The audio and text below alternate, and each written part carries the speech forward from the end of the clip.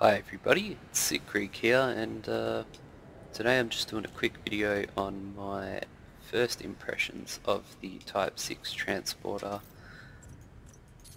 I've just had the ship for a few months now, haven't really been playing too much Elite Dangerous but basically I bought it after my Cobra and just been using it to do a bit of uh, trading and trading missions, even a little bit of smuggling as well, um, just to get me a bit of credits going while I save up money for my next ship, which will probably be the ASP. Uh, so anyway, I'm just in the middle of doing a uh, quick trading mission here.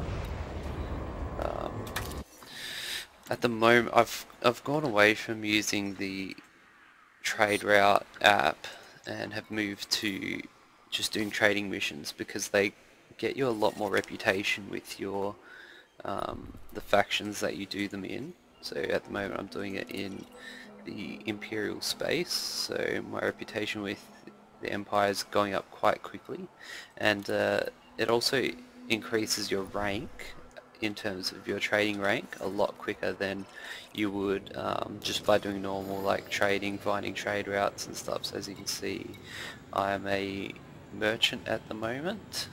Um, and the higher trade rank I get, the better access I get to basically better um, better trading missions at different stations. So at the end of the day I won't even need to do any trade routes or trade route searching anymore. I'll just uh, be doing like trading missions, which is quite easy and uh, will be able to net me a decent profit at the end of the day.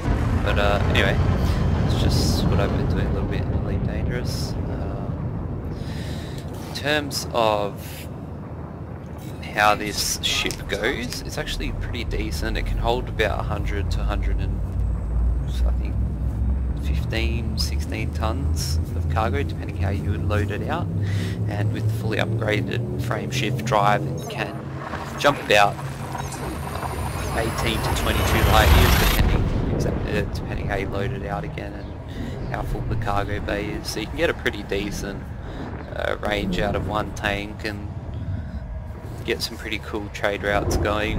At the end of the day this is pretty much what the ship is designed for, trading and that is all. Um, I have in the past done a bit of smuggling with this ship but I found it's kind of hard because it's quite bulky and hard to maneuver in and out of stations and stuff like that. And um, yeah it's got a huge capacity cargo capacity which makes it kind of like not really feasible for doing smuggling. You kind of want like a light and nimble ship to do smuggling uh, like the Cobra or even like the Imperial Clipper, anything that's like really fast and maneuverable. Anyway, so going to Fairmount Station now for this trade mission that I'm doing. And uh, I'll show you what else I've added to my Type 6 when we get there. Um, I also do have equipped my Type 6 a uh, electronic, not electronic countermeasures, a shield booster, just in case I get attacked by pirates. Gives me a bit more shield health while I try to run away from them. And I've also got a chaff launcher and heatsink launcher, just in case I do decide to pick up some uh, some smuggling missions every now and then. It's quite helpful. Um, just to have your ship fully equipped for smuggling just in case you decide to do a bit of that on the side. Also sometimes while running trading missions there's not always trading missions available at every station I go to so picking up a smuggling mission might be a backup option just so I'm continuously making money per trip. But at the moment I've got about 8 million credits nearly, just shy of 8 million credits, about a million more and I'll be able to go buy my ASP which will be my next ship that I'll be just having a quick talk about. Um, yeah, no, the uh, Type 6 is pretty much just a workhorse. Like, it is designed to grind you credits. That's about it. There's nothing really special about it. But, as you can see, I have uh, equipped a auto or standard docking computer to this ship. Um, because when you're doing lots of trading runs you're always going in and out of stations and it gets very boring and tedious after a while. So having the docking computer is quite helpful. It just like sort of breaks the monotony a bit gives you a chance to like get up and have a drink while it's docking or something like that. Um, and it's actually quite good. It's never really stuffed up on me at all unless you like go really really fast um, really close to a station, doesn't have enough time to slow down or kind of stuff up. So just make sure you slow down well before you get to the station and it should be all good. One other thing that you should know is if I've tried um, using the standing docking computer to like get me into a station while I was smuggling goods and it will not let you use a heatsink launcher or chaff launcher while it's doing its thing. So uh, do not use this for smuggling because whenever you have to use your heatsink or chaff or whatever, um, yeah, it won't work and you'll end up overheating your ship or getting scanned or something like that. So, as you can see, it did a very good job. So now I'm just going to enter the hangar and end in my mission. This was a very close jump, I just did this because it was the only thing available at my station see what else is available here once I'm done. One thing I must say about doing the um, transport missions is you might sometimes want to check see these are both in the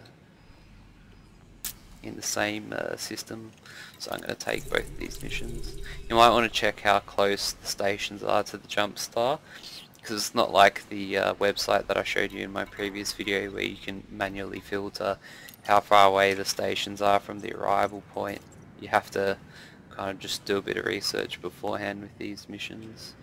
But uh, anyway, yeah, Type 6, very good workhorse of a ship. Um, it's quite large as you can see, that's my little pilot sitting in his little chair. It does have quite a good view though, you have like a pretty much a 360 view from the cockpit. And uh, there's a little cargo, uh, docking hatch, whatever you want to call it, cargo hatch thingy there, stairs. yeah, it's pretty much just like a giant bus thing.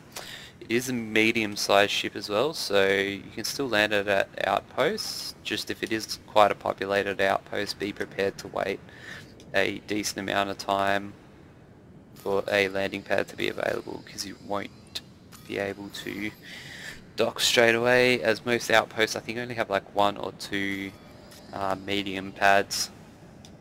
But if you do end up getting stuck just quickly log out switch to solo play log in dock and you should be fine.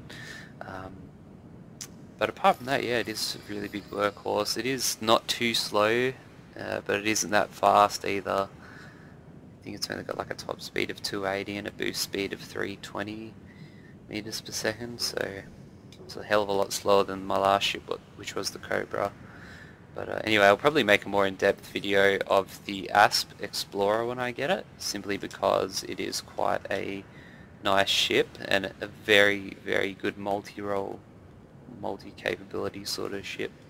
Um, so I'll definitely be having a lot of fun doing stuff in the Asp. It's also got several hard points on it, so I can even do a bit of bounty hunting or assassin missions if I want.